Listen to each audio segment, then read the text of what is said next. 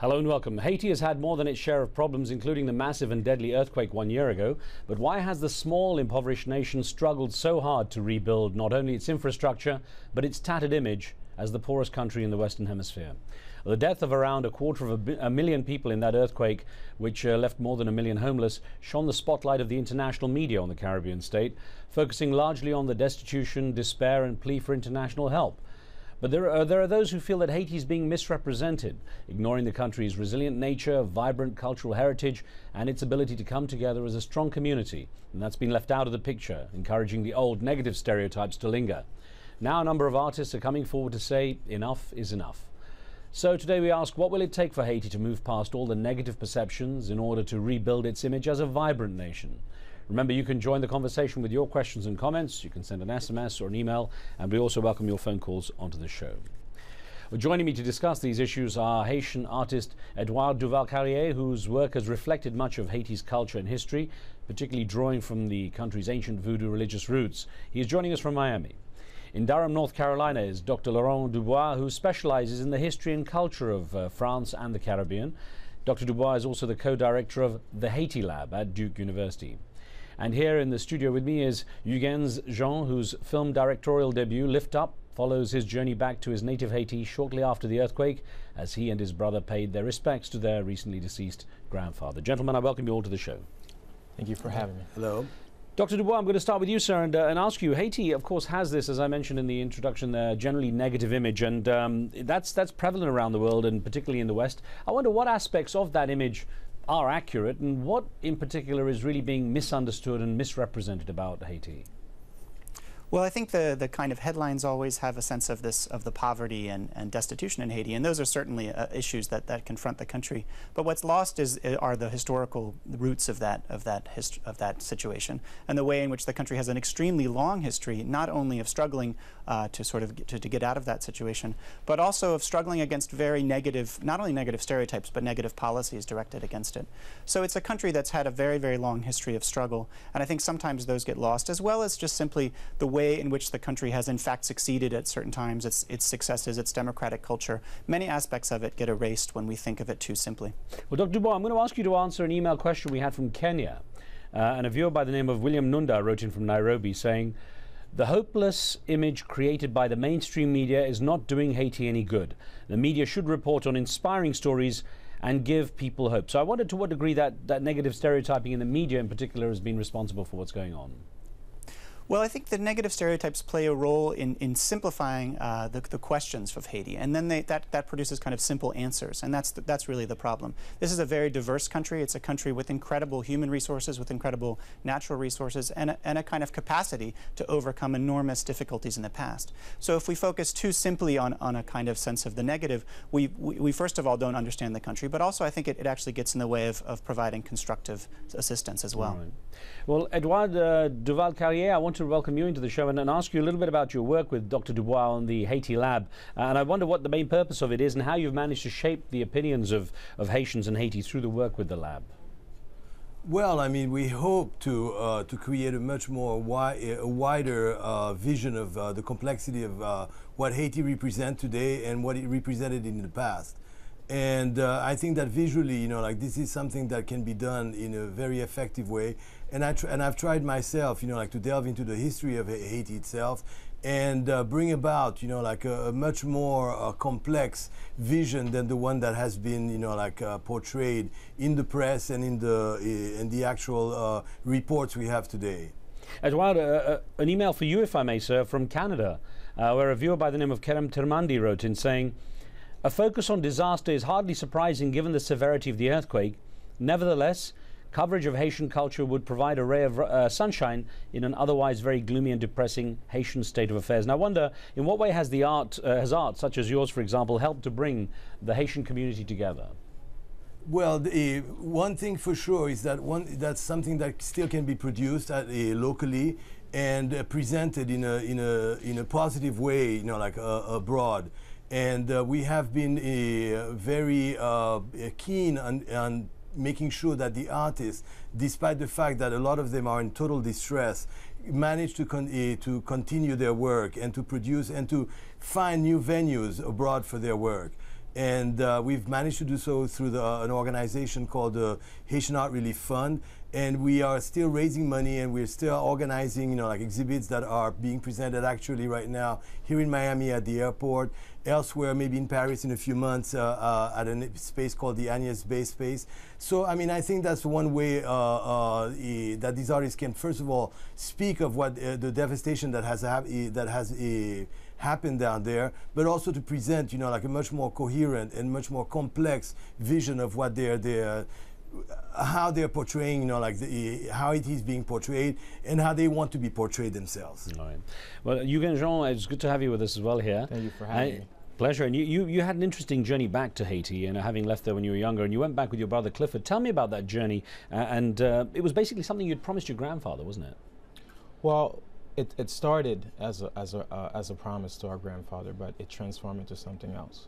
So um, shortly after the quake happened, we decided that we're going to go back to Haiti and try to build a special kite for him because our promise to him was to make sure that you know if he if he was to pass away, we are going to go back to the funeral and make sure that we carry the coffin all the way to its resting place. Right. And we were not able to do this after the earthquake, but um, with with this entire idea of the kite, what we're going to do was go back to Haiti and build a kite, and then use the kite as a symbol um, of hope, you know, uh, an image, so that you know, to represent um, the us carrying that coffin. Right us lifting him up to the to the final place. I'm going to show our viewers uh, um, a, a, little bit, an excerpt of that film, uh, the documentary film you made called Lift Up, where, where they refer to the kites here. An Haiti nou kon kultu, nou kon mande priye. Par exemple, si moun gen de vœu, de bagay yo ta remen prive, yo kon mande priye an la. Yo meton ti film, e bi yo fel monte. Men ane sa, zami yo pa fe, pa fe, pa fe priye a sou kap la. Se te gen maman ki de mou yon trembleman de terre. So mse fon. This is one part of the, the spirit of the Haitian people and the optimism people have and their, their ability to, to celebrate life as opposed to, to simply mourn death that has helped them get through the earthquake, isn't it? Definitely. When we went down there, it's like we didn't know what to expect. Um, we we had an idea, we had this picture in our mind, and we were hoping that we were going to find it because we were just gonna we were just going going from what we remember as children going growing up in Haiti. But then to our surprise, it's like when we got down there, it was still there. You know that hope, that resilience, and we were amazingly grateful to be able to capture it on tape and our promise to the people there was like, we, we're going to make sure that the world get to see this. The world get to see how strong you are, how, how, how hopeful you are. And, and hopefully, you know, it's like, it's you hear all the time, you know, people sending sending sending help to Haiti. I feel like when people get to see this film, it's like it's almost as if they were sending help to the rest of us. Right. Well, let me get uh, Dr. Dubois back in here and ask uh, uh, ask you how you feel that the Haitian diaspora has helped in terms of keeping the, the Haitian community united and to be able to, I guess, uh, to, to shape the recovery of Haiti? Well, I think it's played a really crucial role and, and will continue to do so more and more. It's a huge population, especially in the United States, but elsewhere in, in the world. And um, it's, it's very important for people to have access to, to different kinds of voices. And certainly um, the writers and artists in the Haitian diaspora have played a, a, central role in changing the image. And I think it's one of the reasons why, in fact, the images are starting to change. Um, and I have hope that, in fact, uh, there's, a, there's a more and more complex vision of Haiti being presented in the United States and elsewhere, thanks, thanks to their work. Well, let's get a caller in. Reginald in Fiji, good to hear from you. It's been a while. How are you doing? Oh, good, good. Yeah, I just wanted to ask. I'm not too familiar with the Haitian uh, scenario, but are the Haitians uh, agriculturalists? Do they like to plant food and uh, you know increase their their uh, or decrease their poverty? Thank you. Okay, let me uh, perhaps uh, Edouard Duval Carrié. I can put that to you. Reginald's question is: Are, are Haitian people essentially agriculturists? Do they do they tend to, to want to be able to plant and grow things, and perhaps could, I guess, to some degree, create some self sustainability through that? Uh, well, that's one of the aspects that this country, you know, like uh, should uh, revive and and uh, promote. But I mean, the, the, the proximity of Haiti to the to different markets should also provide, you know, like other other usage for the for the type of. Uh, uh, I mean, the amount of population that there is there. I mean, education, of course, is a big problem there, but I mean, you know, like it has to be tackled with and and uh, done in a proper way so that we can compete you know like uh, in a prop in a, in a much more equitable way uh, in, in promoting our, our, our uh, agriculture uh, and other type of productions.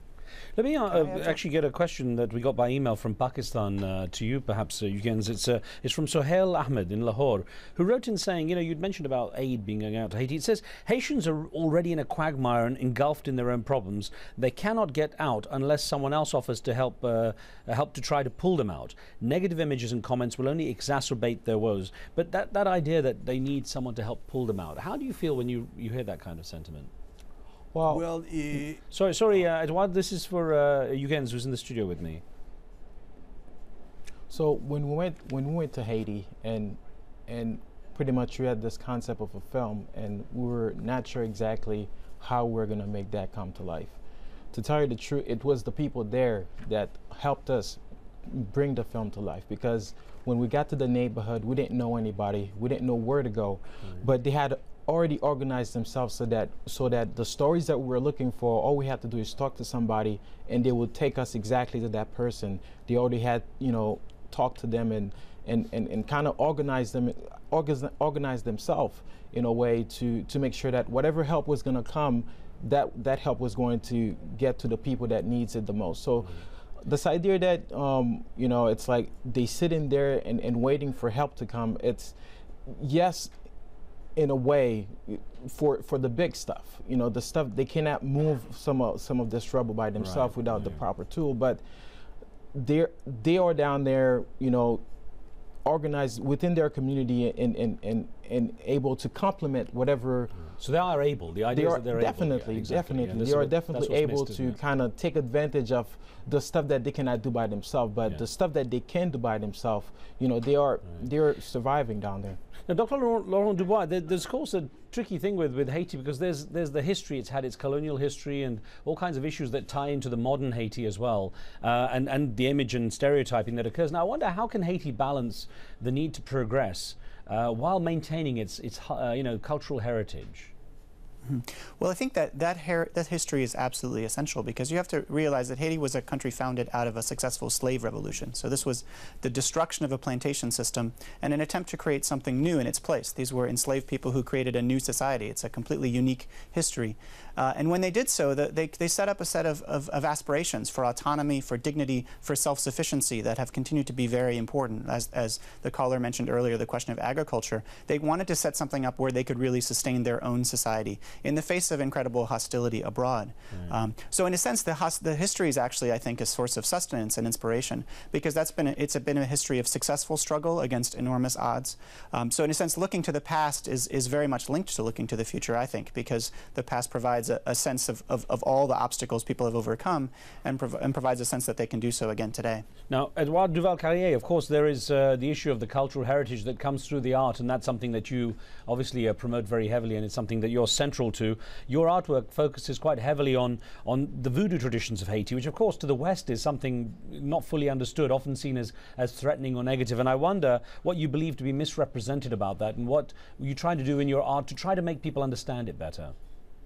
Well, to first of all, I mean, uh, uh, it, it's a religion like any other ones. It's just a set of beliefs that makes sure that that are um, that were brought from Africa to this new world, and that permitted the, I mean, very downtrodden people that were put in uh, the most severe conditions, uh, which were the ones, you know, like as, uh, as a plantation economy during, during the slavery and uh, eh, they had to have the belief of something into something that would permit them to keep their dignity and to continue on. And this is what I try to show eh, eh, with my work, that voodoo is nothing to be maligned. At, at, the contrary, it's a series of beliefs that managed, you know, like to, to have kept the Haitians, you know, like afloat uh, amongst a sea of misery that they were they've, they've been put through, through, in the past 200 years, and now put through the test with such a, you know like a, a, a severe shakedown of their core, let's say. Edouard, we're looking as as you speak there at uh, one of your artworks. It's, it's a fascinating piece here, a very intricate piece called "Memory Without History." Explain that briefly to our viewers, the title and what it's trying to depict. And what I'm trying to depict in that in that in that particular work is the the, the cyclical and the circular way Haiti has gone through. It's uh, uh, the history of Haiti has been repeating itself. I mean, first, you know, like slave a, a boat, a boats uh, full of slaves were brought from Africa, and now today, boats full of Haitians are like leaving the country. But at the same time, you know, like I mean, you know, like what what are they bringing, and who are these people? And I'm trying to show what they what they had to go through, you know, like to to, for people to understand, you know, like why, you know, like this, this is all, all happening. Right. So this particular piece is like a, a, a, breakdown of Haiti's history in very few, uh, elements, uh, such as, you know, like the, the stay of 32 years uh, of a dictatorship called the Duva by the by the Duvalier family, right. and other th things like that. You okay. understand? Well, Huguens, let's look at another um, excerpt from your film, uh, Lift Up, the documentary. And here it's where you talk to an artist who uses um, the, the earthquake as a metaphor for Haiti itself. Haiti te toujou an ba trembe an lete a. Gen pizye ti te trembe an lete a. Fizikman, menm gwen de sa Haiti, Haiti se pare mwen ki fou pan la ri. Petet pi sa pasi yo gen koni, sa se pa gade. Gen atis ki kase pesyon di pa pel. Se di te an chalon dezyem tembe man de pasi. Toazem tembe de tete a, se paski kou nan vre realite a menm. Depi mwen de, depi mwen fet, mwen pa jem mwen bakay sa. Mwen menm... pas ça Moi-même, pas de mais comme si je suis depuis que je suis pinceau. Ça, c'est l'espoir. Depuis que je suis pinceau, c'est depuis que je suis Depuis que je suis pinceau, je ne fais pas Now, again, listening to this artist, it sounds like he, he accepts the, the, the pain and difficulties the, that Haiti has gone through, and that almost this, this uh, natural disaster, this earthquake a year ago, was almost an extension of some of the other stuff Haiti has gone through as well.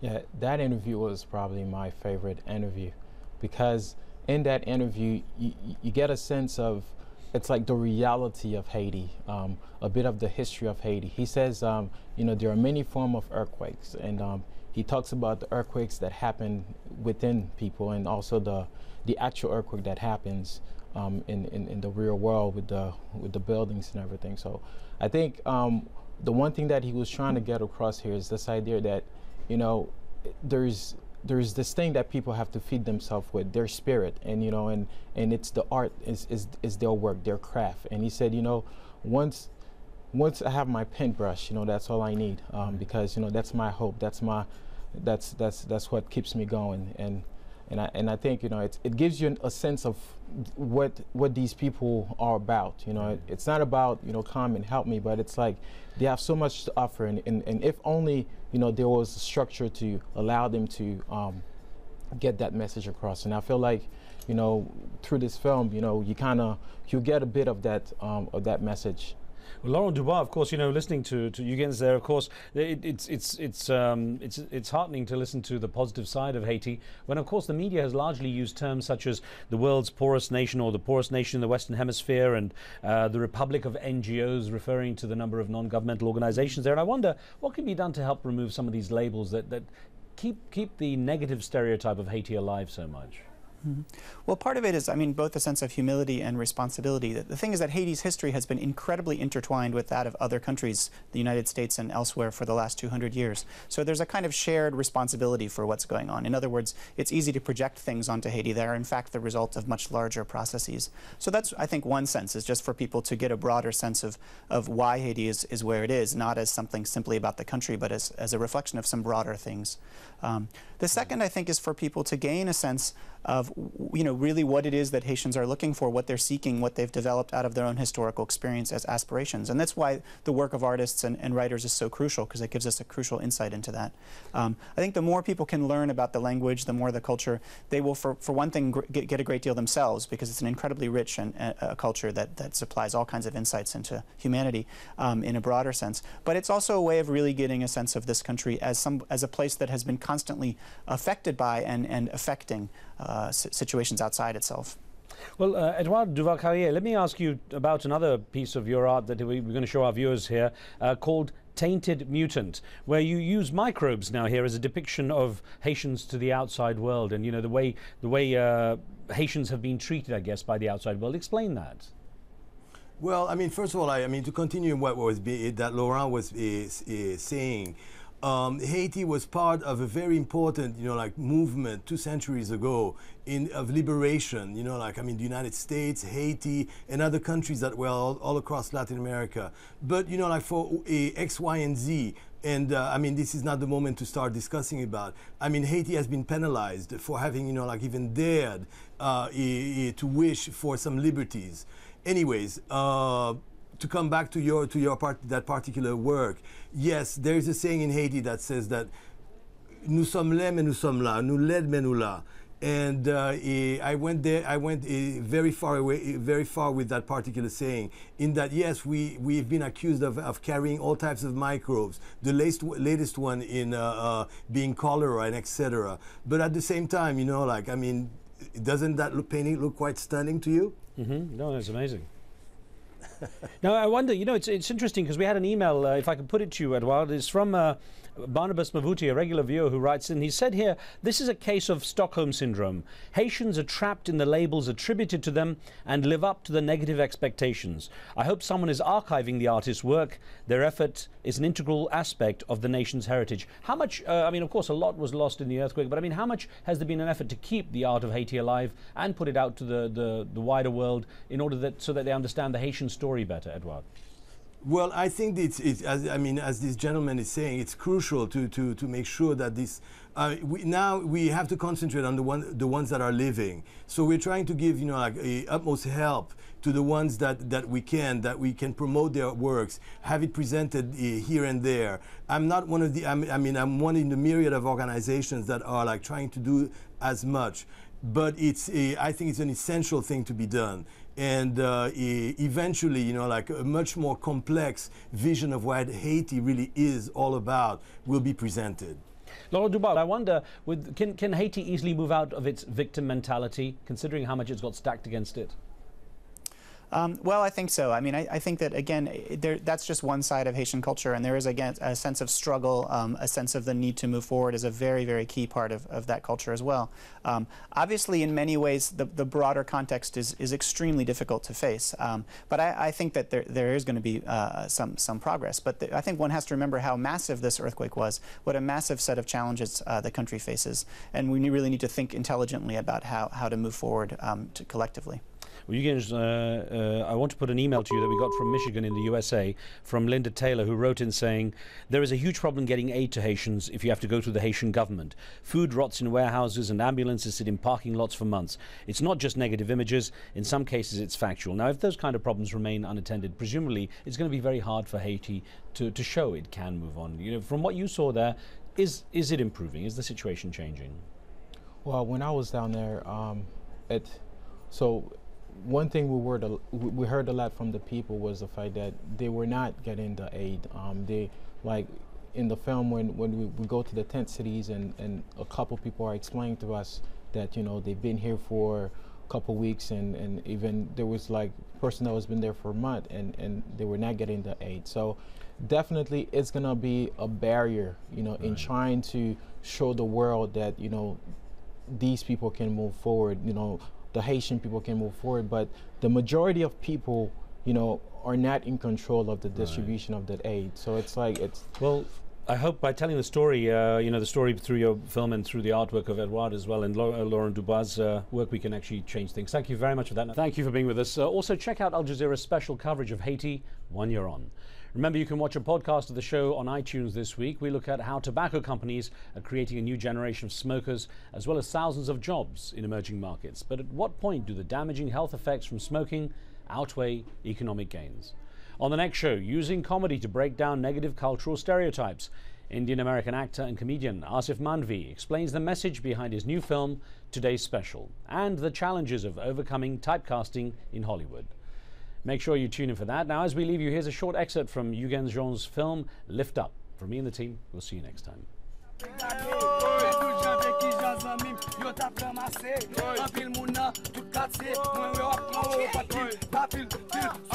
Yeah.